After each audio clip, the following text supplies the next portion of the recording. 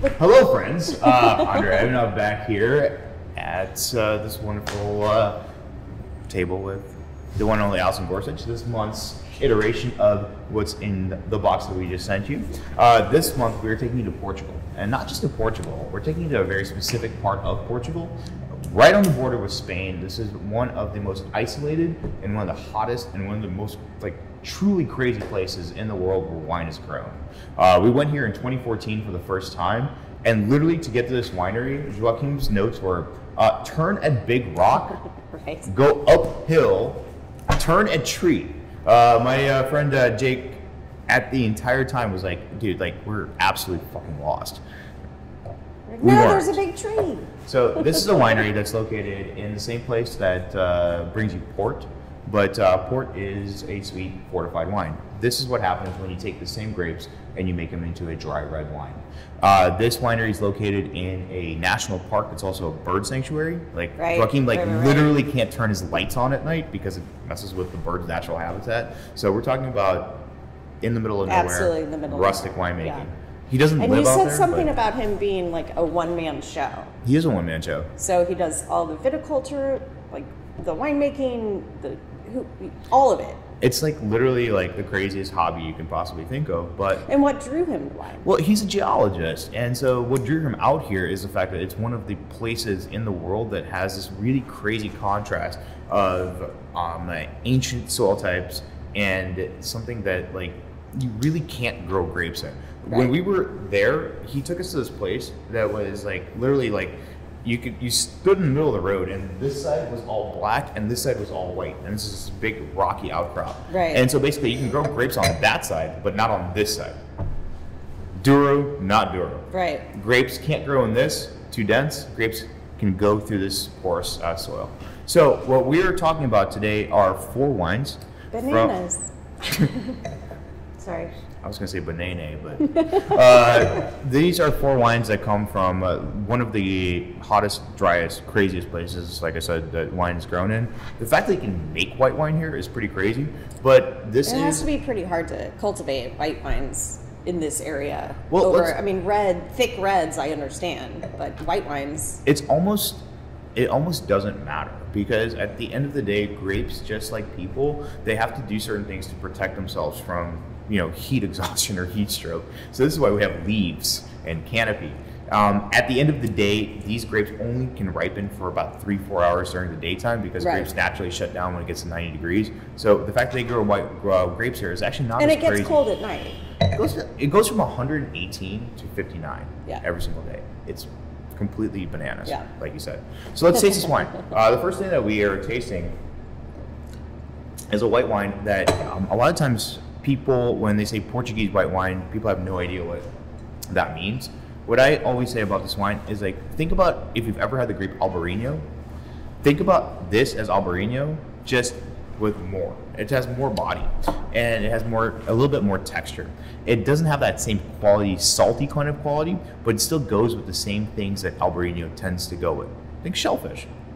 Yeah. Think- Anything salty, little richness, oysters, uh, How about, how about like uni. Oh fuck! oh, now you're talking. Uh, there's a Santa Barbara kind of influence. Uh, I also think that this wine is uh, perfect as just a standalone. Let us not overthink this. This is a great white wine, white wine. Yeah. Um, and also, it's like, come on, this is the thing that you want to be able to pop open on a Monday night, and not feel guilty about, because a, it's not expensive. I was gonna and- say the price is pretty, it's pretty great. Yeah. But also, it's not something that you necessarily have to overthink. And when we're talking about grape varieties here, and thank you so much. Um, a lot of times people put emphasis on grape varieties and like, what does this taste like? Like, what is this supposed to be similar to? Portugal, for a really long time, has gotten away with um, uh, like not worrying about it because people didn't pay attention to it. But now that people are paying attention to it, I think one of the things that it is on us to explain to people is that look, not everything needs to fit into a box. Our memory, our like just like basically the way that we think about things necessitates us to say this is like this, this is like this, this is like this. I was this. gonna say we tend to categorize everything. So let's just categorize these things in the way that like naturally flows into it. Kind of like Albarino, Sauvignon Blanc, kind of like in the, that Right. kind of category. Rich All enough for Chardonnay, but Yeah, I wouldn't say this is a Chardonnay drinker's wine. I would say these three are Cabernet drinker's wines. for sure. because these are big, juicy, full-bodied red wines. Like you know, we talked about last month about like that red wine not being a Cabernet Slab wine. This is a Cabernet Yeah. Slab wine. Like this is big. Well, and now we get to taste uh, different vintages. Yeah. Which is something we haven't done. Well, this is also kind of fun because you mentioned vintages, and so we're talking we're talking about 2017. Yeah. And I had people ask me, "Is like, is this like a library release?" Like, no. This current is, release. It's current release. Yeah. All three of these wines are current release. Right. And sometimes it takes a one-man show in a place that nobody else wants to make wine in. Yeah. Something that's incredibly With difficult land prices. with land are- prices being exactly why Yeah. Joaquim went all the way out there to actually do the project, uh, to be able to bring us something that has um, a, a Authenticity? authenticity and also just like it's ready to go. Like if you were to drink this version of Because this like wine, Napa Cabernet can't afford to hold things back until they're ready to be drunk. and that's why Napa Cabernet is made in some certain ways, Right. made to be drunk Right. younger. Just like the component that we had um, a couple of months ago. That wine is from 2019, but it was made to be enjoyed in this time frame. This is a little bit different, you know. Like you know, he does. Joaquim doesn't have Marc Gagnon to be able to do that. This is like literally. This is what the Douro produces. It's juicy, but oh my god, there's some acid there. and, And so, tannin. and flavor and depth. Yeah. This is a big wine. So you're talking about backyard barbecue kind of like uh, things. You're talking about brisket. Right. You're talking about burgers. You're talking Oh, about somehow like I'm thinking duck. I don't know why. Because you're you know here in the inner Richmond. but uh, the uh, idea behind this wine is it is incredibly versatile to drink on its own. But yes, it does have this like really kind of like a richer, fattier food. So we had like, a, a little bit it. of a talk Yeah. uh, about flagship wines, Mhm. and um, and you said this is the, his flagship wine. yeah. Okay, and so meaning that that's like his This is- style that he wants to hang his hat on, right? Um, this is the wine that every single year he produces and releases, and this is his kind of like blockbuster. If I was going to bring one wine to a tasting, this, This would is be what it he wants because I make it every year. Okay, Yeah. gotcha. gotcha. Um, the other two wines that we're going to taste are fundamentally different. And this is like one of the cool things that we are uh, lucky enough to be able to bring to the Bliss Wine Concierge, the, the club aspect of it, is because we don't just send you the average, like kind of flagship thing and just kind of leave it at that. We dug deep into Joaquim's cellar here and we brought you two wines that are fundamentally something that you normally don't taste out of a wine club. We brought you things that are very limited production and that are only really released to us because um, we be friends. Uh, but uh, think of this next wine, the Pios Argilas, um, as um, the essentially the same wine that this bottle um, uh, has, except for this is grown on clay. right. Argilas Okay. Okay. means clay, like right? Oh, really? I Yeah. didn't know that. Yeah, that's well, like that's all it means. Portuguese. They're very literal, you know. It's like like the next one is called As Tourigas. Well, that means the Tourigas. What do you think it's made from? Okay. Two Tourigas. Uh, so the idea with the Nacional and Franca. song. Um, so the idea here is that this wine is from 2013. This is the current release, um, and he didn't make a ton of this. so this. ten years old, current release. Yes. The reason why is that he doesn't want to release wines but until they're actually ready to drink. I think that's fantastic. This like, is ready to drink. This is ready to drink. This Yeah. is ready to drink. But for different reasons, this wine is made in a kind of like a little bit of a different way. Um, so think of this as being grown on colder, Mm-hmm. denser soil than this. So you're talking about inhospitable here. You, can, you can actually taste it. Yeah, There's a little it bit just- less like complete fruit forward. There's a little bit more um, salty character. Um, It kind of has it has that, that terracotta kind of like like Yeah, red exactly. kind of, um, bricky flavor, uh, flavor to it. But so whereas this is like something that like everybody enjoys and like I always call like this lineup the perfect like family dinner lineup. Yeah. Because if you have somebody just like wants something really fruity, easy to drink, something like this. You have your You have that staunch. you have your white wine that's some, find like finds your Sauvignon Blanc, Chardonnay, what have you. You have your big cab. You have your Complex, maybe Pinot. and then holy shit, All right, well, uh, let's talk about food with this, and then move on to the fourth one. Well, let's talk about food with this because the bigger thing that this these fruitier wines have is they have this juiciness and this density, so it can hold up to richer, fattier stuff. This, I would say, drink it with a leaner cut of meat, or Yeah. also switch the flavor profile. Switch to lamb instead of beef, Yep. to where the flavor of the meat is more important than the flavor of the fat. Yep. It's half Touriga Nacional, half Touriga Franca.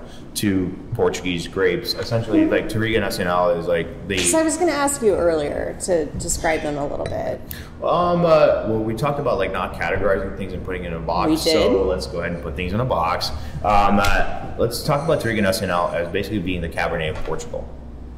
Cabernet Sauvignon, if you like it, and you like it ripe, and you like it juicy, Yeah. Portugal is your friend. Because Touriga Nacional has that same blue fruit, black fruit kind of a inter- uh, Yeah. interaction. It's dense, it's tannic, and, And it's it- juicy. I'm just like connecting dots here, but that's like um, Toro de Toro or Ribera del Duero instead of Rioja. Essentially, Like- yeah. Okay, Yeah. like So- super ripe, super concentrated, big ass. Big ass. Sorry, yeah. that's it's a very technical term. It's uh, it's it's it's it's not it's not you driving uh, you know cross country with an SUV with a little U-Haul uh, trailer behind it. It's the whole goddamn fucking U-Haul, and it is uh, a, a grape that and a wine style that I think is perfect for people that really like California wine, except for it has this uh, capacity. If you let it age, I was going to say, it. so we've, we, I mean, we've got what's it, 2000 15 years. Yeah, this is this is the current release. This is the you don't the next which time. is kind of honestly, I want to like impress that.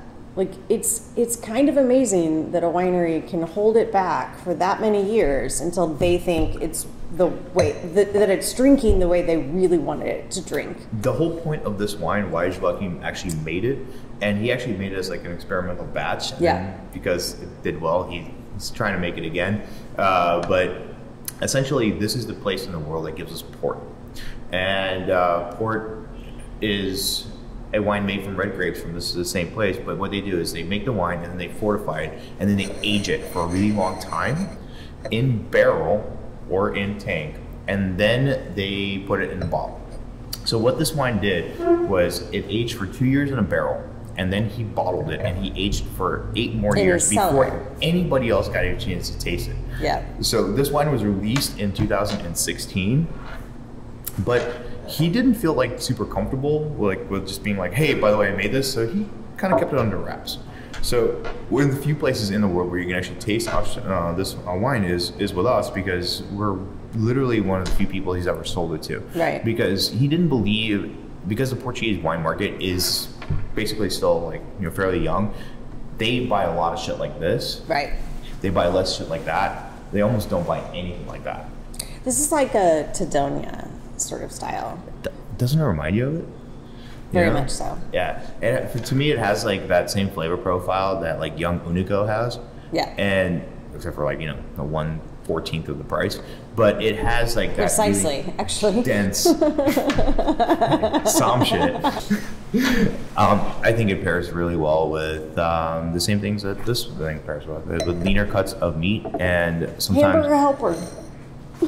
I was gonna say bolognese pasta. You took it right out of my mouth. Jesus Christ. Uh, the, uh, thing about these wines is like again, intensity is everything. This is big, dense, and juicy. It needs a lot. These wines are a little bit more subtle. It needs a little bit less. So think about whatever you're cooking. Are you putting a lot of effort into the intensity of flavor? If you are, go here. If you're not, go there. But the wines are just delicious no matter what you do with them.